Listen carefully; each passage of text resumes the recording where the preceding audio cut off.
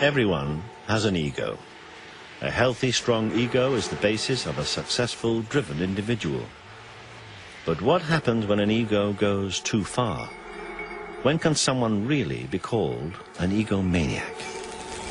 Sometimes I appear arrogant. Fuck you, sit down, That's only because I'm the best. Everybody seemed very shaken up by September 11th, and I thought, I don't live in New York. What's it like to cross an egomaniac? I became totally lacking in confidence. No way was I ever going to have a mental breakdown. But by God, it happened. I'm not a person who would ever commit suicide, but the sort were very persistent. Is there a limit on how big an ego can become? What better manifestation than to be like God? He was the mouthpiece of God, and God spoke through him. So what he said was God. And what lengths would an egomaniac go to to get their own way? The bodies have been so badly beaten and so badly attacked. It was certainly a, a very gruesome scene. From the overbearing boss to the ego that spirals dangerously out of control. This film journeys deep into the mind of the egomaniac.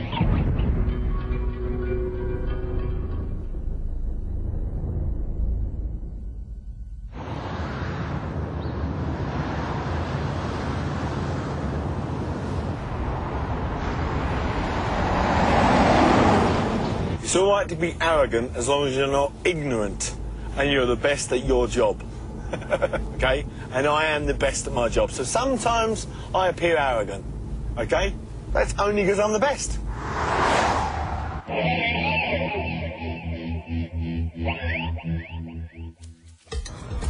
Huge egos are often found in the world of business. Self-made millionaire Frank Tuff is responsible for creating Europe's biggest market, Camden. Now he wants to repeat the success in Liverpool. Well, yeah, usually they never listen to me, but they will do. One day, one of these days, they'll, they'll, they'll say, oh, golly, does know what he's talking about. Oh, no, you look after yourself. God bless, mate. Till that way. Bye-bye. 2008, yeah, is European City of Culture. 1.5 million more people will come to Liverpool that year, just like they did to Glasgow. Why are they coming back? Tourism. And that's what we're about. Tourism, okay? We will create the biggest tourist attraction outside of London. Hence, people will come here. I can bring an extra 200,000 a week into, into Merseyside, which is half their population. Following Frank for a day, it's clear to see that he has a larger-than-life ego. But can he really be called an egomaniac? If I open three days a week and you take £3,000, how much is a reasonable rent? 150. What? 150. 150? Yeah. Then you might as well pack yourself up and go now, because if I get you three grand a week, yeah, I'll be at least looking for £400 of it, okay? Are you crazy?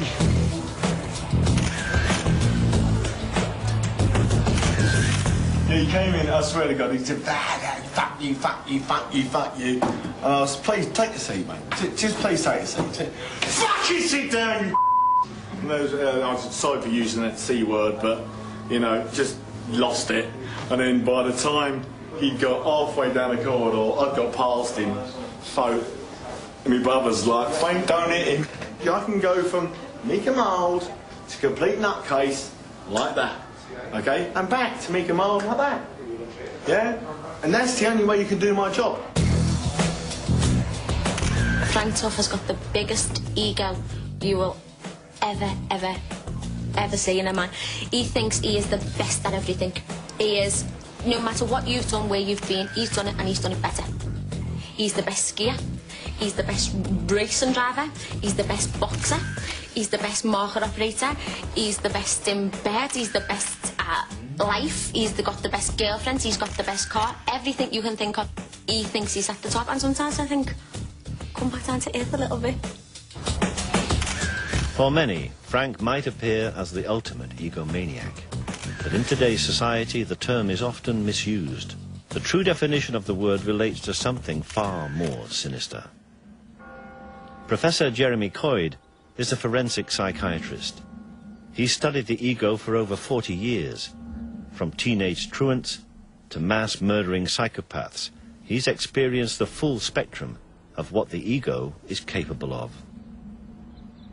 Ego is, is a, a, total necessity for all people that uh, unless you have some sense of yourself and, and some sense of importance and individuality of yourself, you have enormous problems. You have enormous problems in life, coping, and you have enormous problems in relating to others.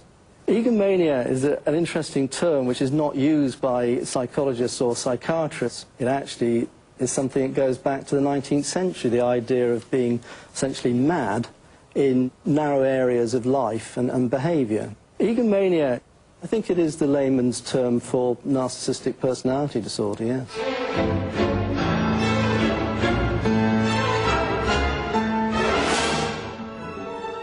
The term narcissistic derives from the mythical image of Narcissus, the boy who pined away at his own reflection and became a symbol of destructive self-love. One of the things that with narcissism is that everybody does need a degree of narcissism, and in fact, narcissism relates to success in life. There's a direct relationship. The more narcissistic you are, the more uh, financial, material success you have in life. Psychologists have defined a list of nine characteristics associated with narcissistic personality disorder, or NPD. Many of us display these traits but learn to control them. But for those who cannot, like a pressure gauge, danger arises when the needle hits red. And Frank clearly displays three of the nine characteristics. When you get confidence and you can dance, yeah, the girls talk to you. And more girls talk to me than anything. Arrogance. I created the biggest tourist attraction in the UK. So I know I'm good. Grandiosity. But perhaps Frank's most dominant characteristic is preoccupation with success. I drive myself hard because of failure. I never want to fail. Take the pay 105. Bollocks to it. you want something? I'm not a fucking stupid person, you know. I always want to succeed in everything I do. I want each and every one of those people chased up right now. Yeah. Okay? The ones that you know are here. Yeah. Okay, I want them in, in, in the next 29 fucking minutes. I, I want it now. I would call myself a very confident person, not an egomaniac. I would not call myself an egomaniac. He's an idiot. John Whelan, John, John. Can I shout any fucking louder? I'm a very, very quick learner. Might take me a half a year to learn your job. Take me about half an hour to learn his. And about 15 minutes to learn hers. Okay? Sorry about that. That's my ego coming out. Although Frank displays three traits associated with narcissistic personality disorder, to be clinically diagnosed, you need to have five or more dominating your character at the same time. Such individuals have personalities that can border on the unhealthy. Everybody seemed very shaken up by September 11th, and I thought, I don't live in New York.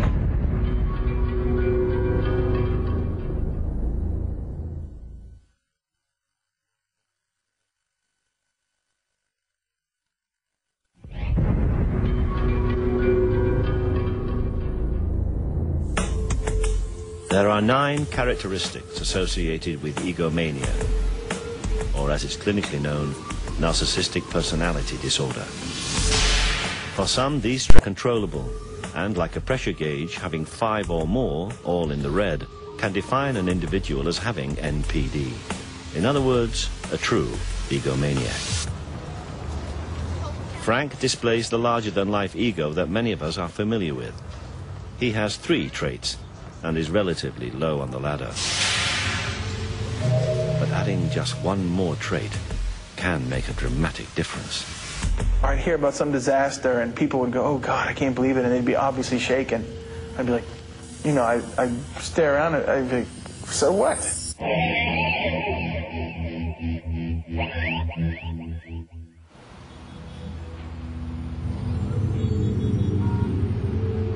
David sits on the next rung of the ladder. He has four characteristics associated with NPD, and the most dominant one is a lack of empathy. For fear of losing his job, he wishes to remain anonymous. I felt it very much on September 11th, as a matter of fact. I mean, everybody seemed very shaken up by September 11th.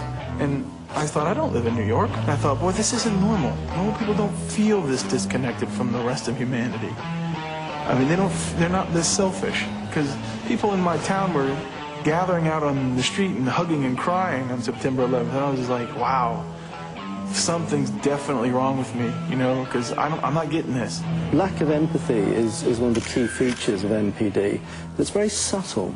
They don't really care. They don't care if you're hurt. It won't, they won't be sad if you're heartbroken. These individuals are ultimately unable to love. They don't have true, deep feelings of caring for others. But actually, lack of true feelings, uh, lack of feelings of guilt, lack of feelings of remorse in the more severe cases of NPD can actually be facilitate you getting what you want. If you don't feel sorry because you've hurt somebody or somebody's lost because you've conned them or you've committed a fraud, then what the hell? You get on. David's lack of empathy not only affects his outlook and attitude to others, it also affects his perception of himself. As a result, some of life's most emotional moments appear to pass him by. I went to my father's funeral and people, uh, you know, who are barely related to my dad are standing around crying. I wasn't happy that my father died, but I mean, I wasn't, I wasn't upset enough to cry. And I don't know why that is. I mean, because there's a certain amount of emotional barrenness involved in narcissism. Even what many consider to be the happiest day of their lives leaves David cold. When I got married, from the time I took my vows, I had no intention of being emotionally faithful. I had no intention of being emotionally committed. I probably had no intention of being physically faithful. It was really like I was just doing it because it was expected. You know, like, you want me to get married? Fine, I'll do it. You know, uh, I, I will, I will show up. I'll go to your wedding, but uh, and I'll say your words, but it means nothing to me. If I meet a bridesmaid there, I don't know what might happen. David paints a lonely existence of someone who has just four traits of NPD. To be clinically diagnosed, you need five or more. So, how can one tell? Psychologists have devised a simple test. Depending on how many times you answer yes to the following questions, may mean that you suffer from NPD. Do people often fail to appreciate your very special talents or accomplishments? Have people told you that you have too high an opinion of yourself? Do you think a lot about the power, fame or recognition that will be yours someday? When you have a problem, do you almost always insist on seeing the top person? Is it very important to you that people pay attention to you or admire you in some way? And do you feel that you deserve special treatment? Do you often expect other people to do what you ask without question because of who you are? Do you often find it necessary to step on a few toes to get what you want? Would you say that you're not really interested in other people's problems or feelings? Are you often envious of others? Do you find that there are very few people that are really worth your time and attention? Thank you very much. If you answered yes five times or more, it could mean that you have NPD. Malignant Self-Love by Dr. Sam Vaknin is one of the first true attempts to understand a narcissist. The narcissist is addicted to a drug called narcissistic supply. Narcissistic supply is a fancy term, and it describes all forms of attention, both positive and negative. Narcissists are very utilitarian, very pragmatic, and very flexible multi-purpose machines. They have what I call X-ray vision. They are able instantly to diagnose the weaknesses, vulnerabilities, soft spots, predilections, fears, hopes, and emotional needs of everyone around them, and to put it to use instantaneously, relentlessly, and ruthlessly. Narcissists never regret what they do, simply because they do not hold themselves responsible to the consequences of their actions. Crossing these individuals can be a daunting experience, especially if you have to do it on a daily basis. The workplace is a familiar backdrop for tales of the egomaniac. For about 10 years, I experienced incidents of bullying. I would often sit in my car and not be able to drive home because I was either so angry or I was just in floods of tears. The general manager had a habit of breaking down someone's reputation and then building it back up. And I became his target.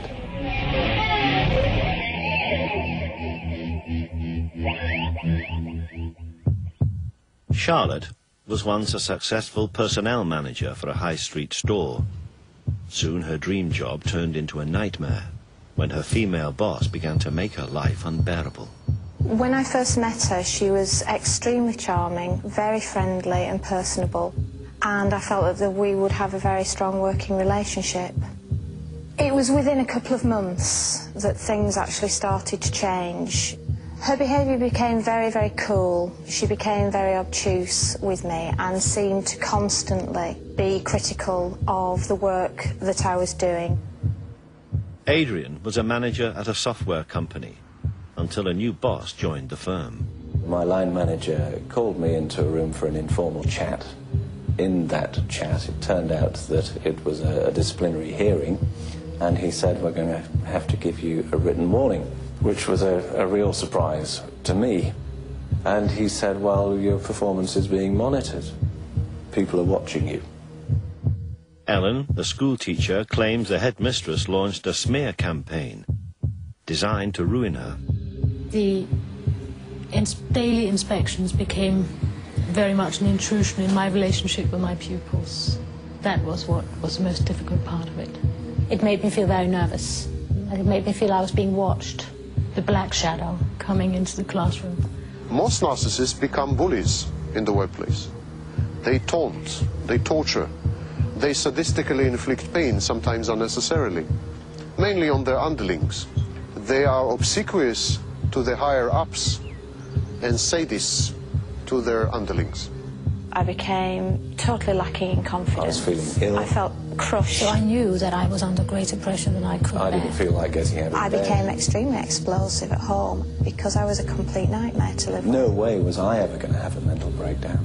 But by God, it happened. I'm not a person who would ever commit suicide, but the thoughts were very persistent.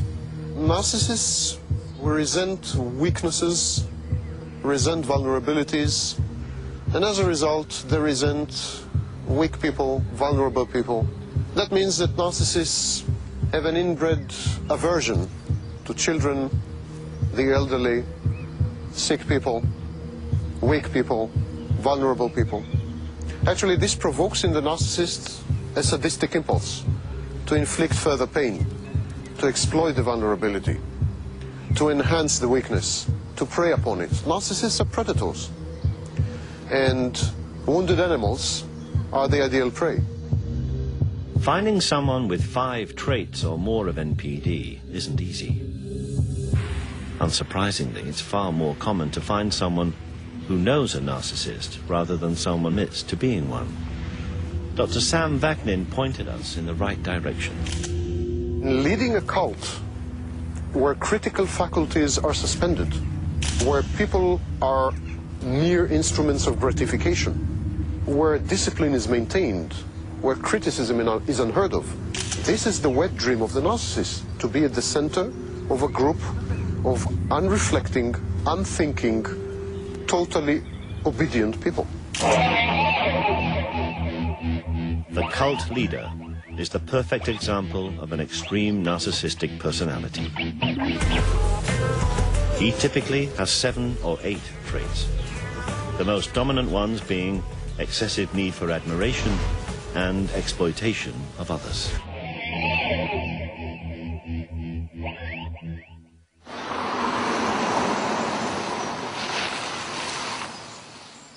Bob Pardon has studied cults for 15 years. He runs a self-help group for victims and believes religion is the perfect tool for a narcissist to control others. Uh, we're going to be dealing this time with narcissistic personality disorder. And a number of years ago, Judy and I came across the material of a man by the name of Sam Vaknin.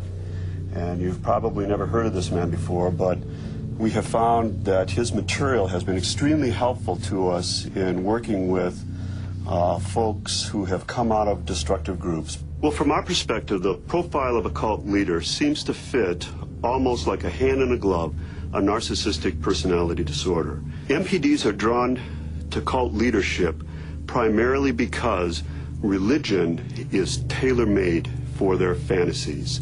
What better manifestation than to be like God? Of all the cult leaders, it would be hard to find a bigger egomaniac than David Berg. His cult, the Children of God, which he founded in 1968, ended up mirroring his own worst narcissistic characteristics. It soon became a global movement, expanding to over 130 communes. But for many, it was a prison of exploitation, abuse, and mind control. Some examples of David Berg's um, narcissistic personality disorder. Uh, he certainly had grandiose feelings. I mean, he felt that he was called by God as God's end time prophet. Uh, he was predicting the end of the world numerous times. He was certainly obsessed with fantasies of unlimited success and fame. So there are numerous, numerous examples of Berg fitting NPD across the board. For those born into Berg's cult, they had no choice but to follow his idealism, such as the Jones sisters, who witnessed Berg's extreme narcissism from an early age. It was not that Berg was replacing God, it was that he was the mouthpiece of God and God spoke through him.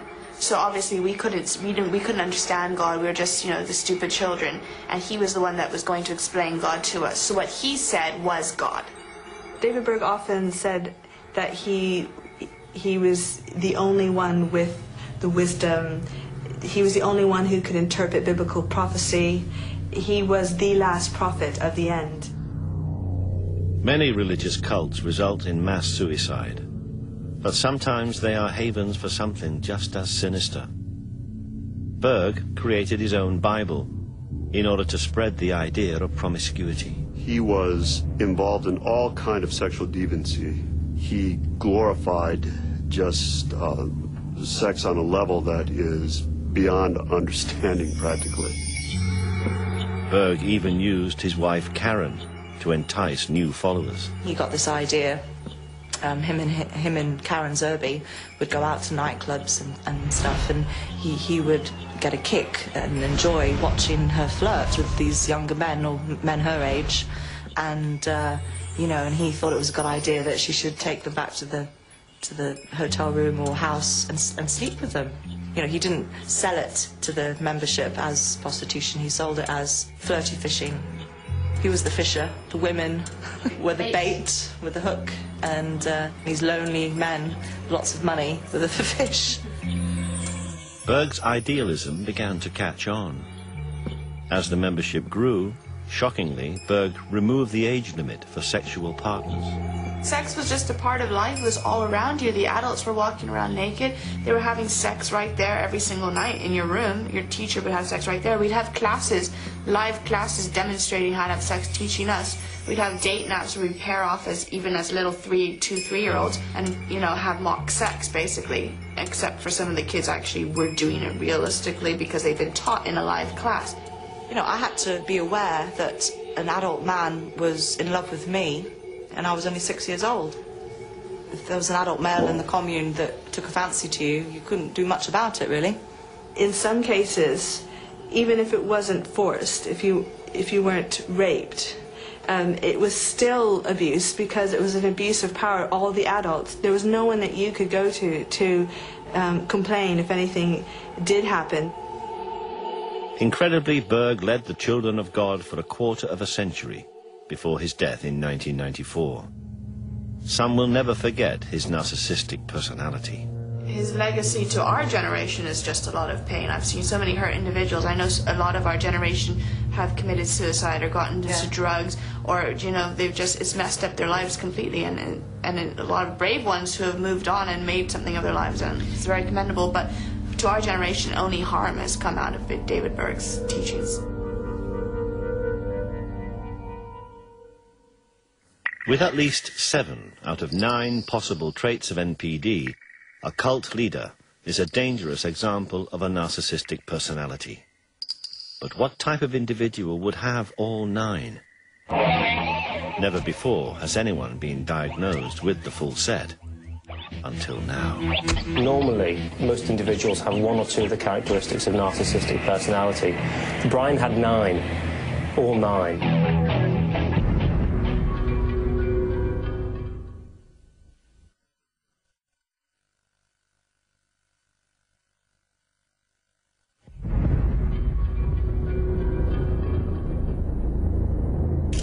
In the search for the ultimate egomaniac, the cult leader displays at least seven out of nine possible narcissistic traits. Usually, with hundreds of followers, the cult leader is easy to spot. But would it be as easy to spot someone with all nine traits before it's too late? Brian Blackwell seemed like the definition of innocence, the nice boy next door. What nobody could foresee was that this 18-year-old intelligent student possessed all nine possible narcissistic characteristics, making him the most volatile, unpredictable, and dangerous of individuals.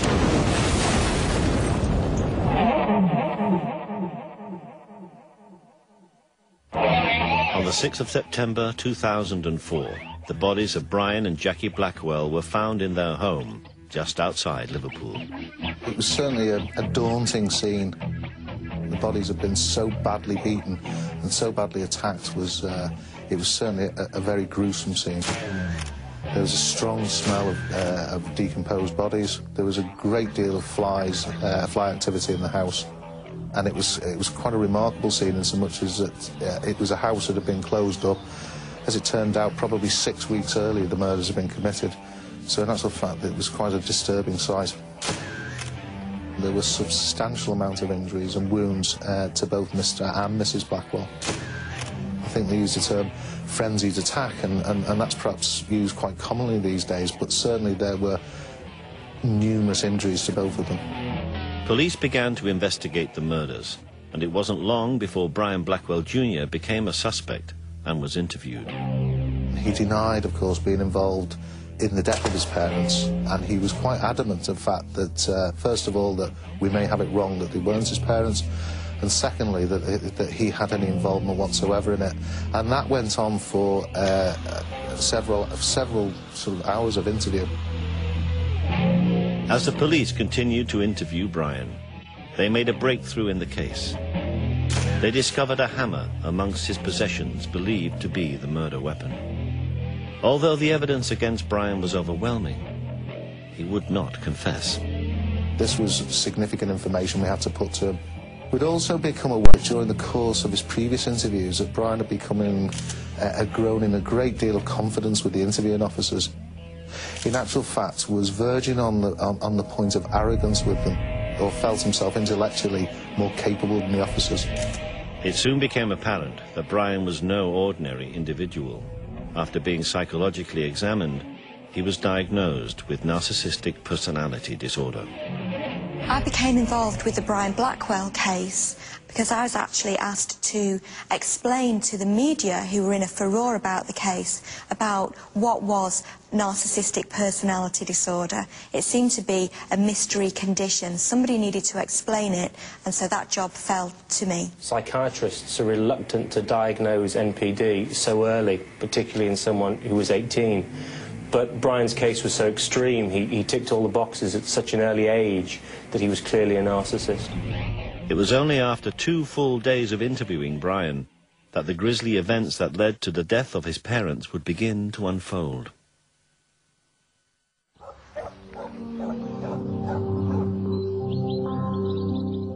From an early age, growing up in Melling, Brian's behaviour didn't go unnoticed.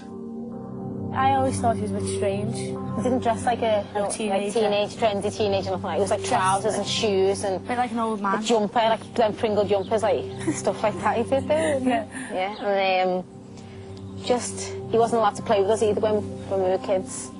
Like he was always at home doing his homework and wasn't the average... Teenager? Kid. Yeah, or teenager, yeah. I felt sorry for him a little bit though because his mum was always at him all the time, wasn't she? Yeah, like him and his making him dad study and all the time. Like yeah. if he, you'd always hear like Brian, and, like shouting and stuff like that. didn't He's you? al- yeah, he was always studying all the time. Brian's relationship with his mother is very interesting. It would appear that Jackie Blackwell was quite a difficult person to live with. Most of her emotional needs were met via Brian. She doted on him, and she very much seemed to want to keep him as a younger child. He says that his mother used to control every aspect of his life. When Brian attended Liverpool College, the controlling hand of his mother was never far away.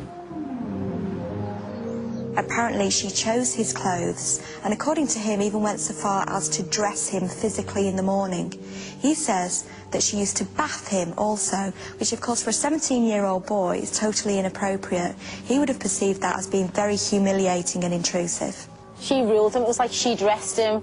She told him what to wear. She told him what to eat, what to just how She to do in- everything. In all these situations, the common thread is not recognizing the boundaries of the child, not accepting the emerging self of the child. The child is not allowed to separate from the parents. Brian Blackwell retreated very much into his fantasy world. So he would spend long periods of time in his bedroom, long periods of time at the weekend just with his parents. The patient creates a false self and replaces his true self with this concoction. He would fantasize about being a brilliant tennis player, somebody who was hugely popular and had all of the trappings of a successful sportsman. The patient then uses the false self to garner and collect narcissistic supply from people around him.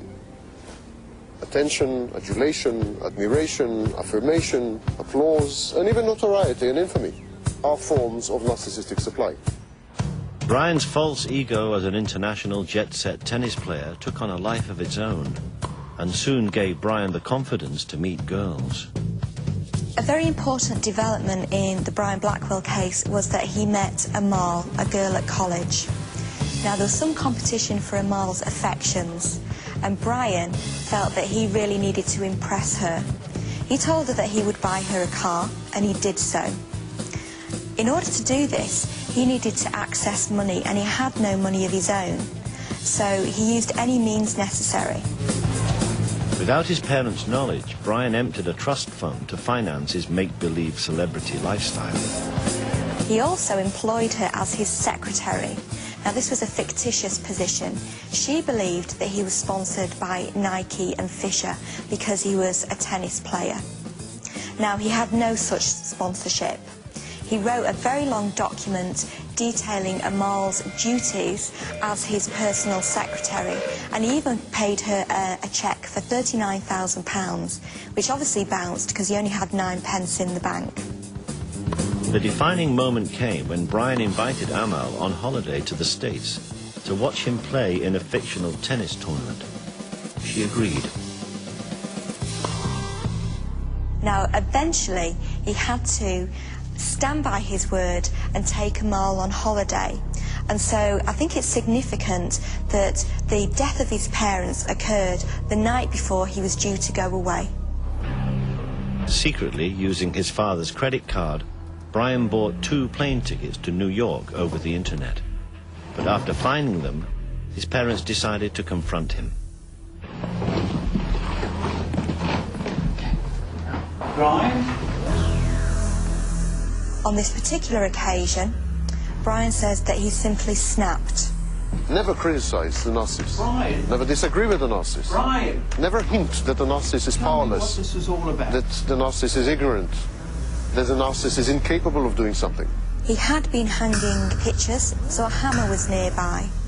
Brian picked up the hammer and he attacked his father.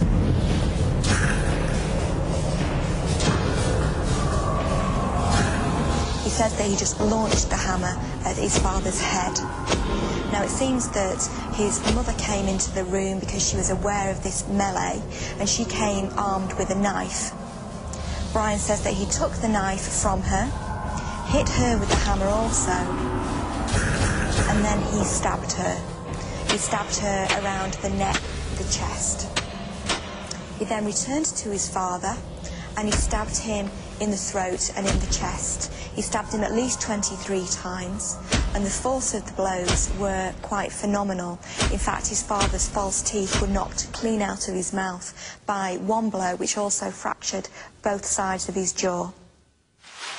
He dragged his mother by her feet, very unceremoniously, into the bathroom.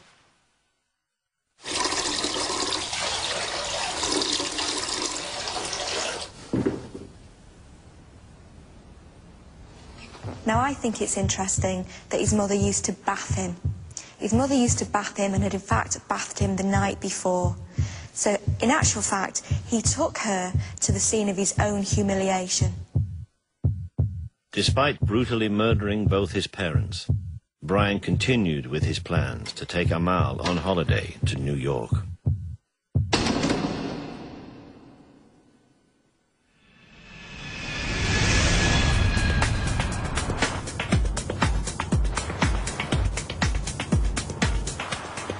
Most incredible features of this is that having killed his parents, that within a very short period of time, he, he seems to have been able to switch off this awful event, meet up with his girlfriend, go on holiday, to the extent that he then spent almost two weeks with her, where she never suspected for a moment, apart from one incident she recalls that he, he seemed to be getting upset and went into the bathroom and came out minutes later and was fine. And he was able to put this whole uh, horrific event, uh, you know, to the back of his mind. Two weeks later, Brian returned to the house. He actually went back into the house to get something whilst his parents were there and then came out again. Now, at the time he did that, the parents must have been in an extremely advanced state of, de of, of decomposition. And yet he was able to sort of deal with that, come away, and then carry on the facade. It was, it was, it, it was quite bizarre. Finally, after two days of questioning, Brian confessed to killing his parents. His case made British legal history. Narcissistic personality disorder was used for the first time successfully as a defence against murder in Brian's case. Brian was convicted of manslaughter and not the murder of his parents. The court accepted that his responsibility for his actions was diminished by the fact that he had a narcissistic personality disorder. Although Brian Blackwell's charges were reduced, it seems unlikely that he will ever be released. He certainly cannot be interviewed. Actually talking to someone who suffers from all nine traits of NPD, who wasn't a cult leader or already in prison, appeared to be an impossible task. Narcissists never admit their faults. Narcissists never accept responsibility. It's not like the narcissist is likely to come forward and proudly say, I'm a narcissist, and it's not something to be proud of. And it's not something the narcissist admits to. No, no, no, forget this. It's very bad. Bloody hell. Just a second, these kids, uh, uh, shoot them. However, sometimes the answer can be staring you right in the face. Listen, if the answer is not what you expected, cut camera. I repeated it 17 times. Cut.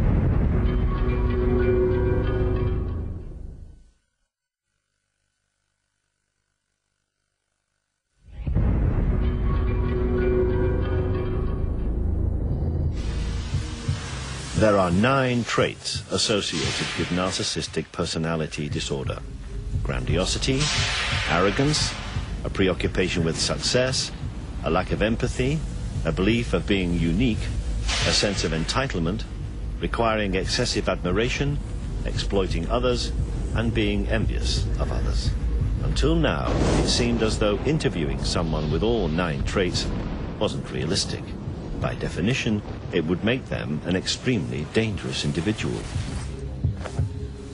But after two days of interviewing the world's leading expert on NPD, it soon became clear why Dr. Sam Vaknin was such an authority on the subject. I've been diagnosed with a narcissistic personality disorder, and therefore I'm a narcissist. And all the traits that I've enumerated before exist abundantly within me, I'm afraid.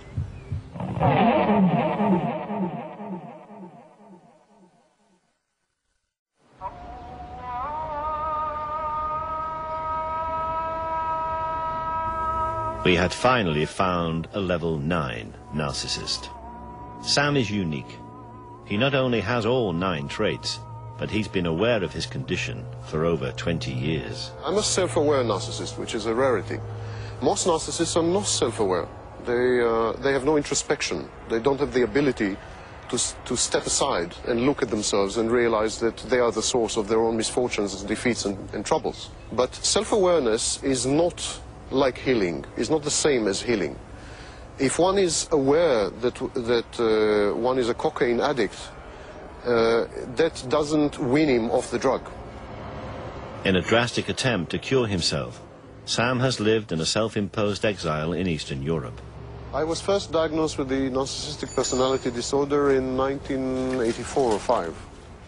My narcissism affected each and every field of my life.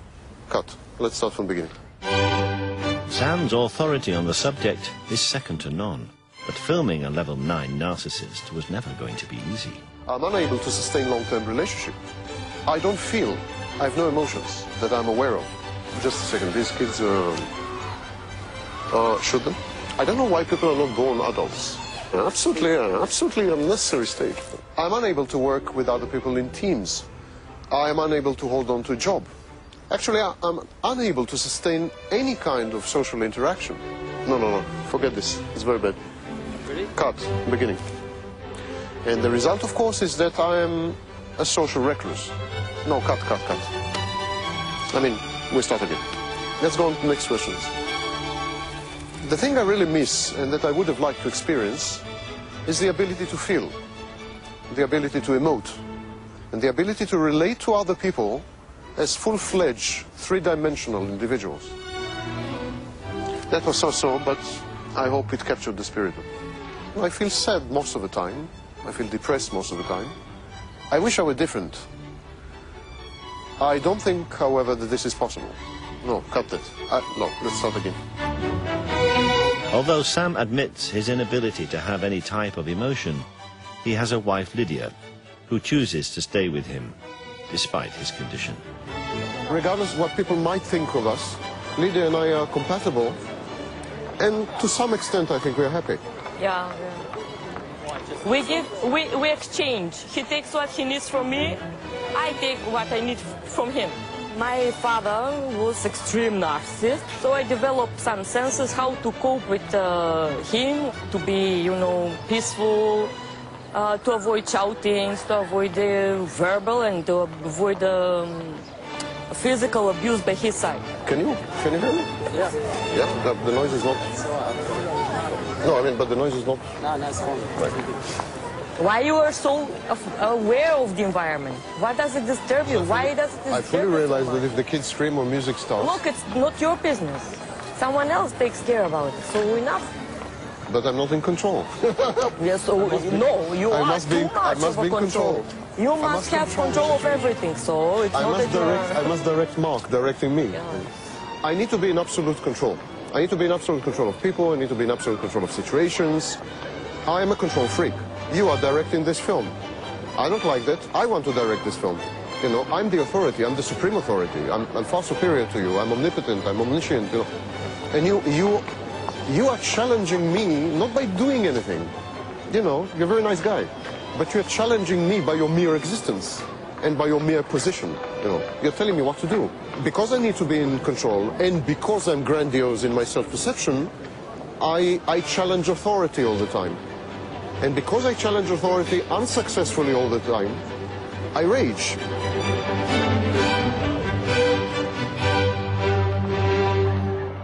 Sam is able to offer a unique insight into why an extreme narcissist can suddenly rage uncontrollably, as Brian Blackwell's defense claimed that he'd done. When I feel insulted or injured, I feel that I, I have been negated, that I've been annihilated. I feel that I'm dissolving into molecules. I feel that my very being, the core of my being, my essence, is being threatened directly. And I feel that I have to restore, immediately restore balance by nothing less or nothing short of eliminating the source of frustration. It's not really vengefulness or vindictiveness. It's a desperate attempt to kill even the slightest hint of criticism or disagreement threatens the precarious balance that I've created over many years. The balance that constitutes my personality. You are out to destroy and kill me, so I'm out to destroy and kill you. Dr. Sam Vaknin, Brian Blackwell, and cult leader David Burke are all extreme examples of narcissistic personality disorder. But can they be cured?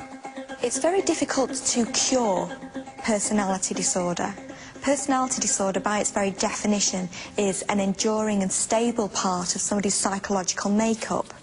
But what you can do is that you can help people to control their, their traits. Many therapists and, and you know, mental health professionals will tell you that narcissism is treatable, that it can be either reversed or utterly cured, or at least some of the behaviors can be modified. And that is largely untrue. Narcissism is the narcissist's personality. You can't cure the narcissist because you can't take away his personality. It's estimated that there are as many as 6 million people worldwide who may be suffering from varying degrees of NPD. But with such an underdiagnosed condition, that number could be far greater. So it's very difficult to know who exactly has it because by its very definition, if you are narcissistic, you think that you are better than other people, you're great, so you're not going to go to the doctor and complain. What is certain is that those diagnosed with narcissistic personalities, in other words, true egomaniacs, satisfy their need by preying on others. And for that reason, they will never go hungry. We are superior subspecies. We transcend humanity. We are Nietzsche's Superman. We deserve the subservience and the availability of everyone around us.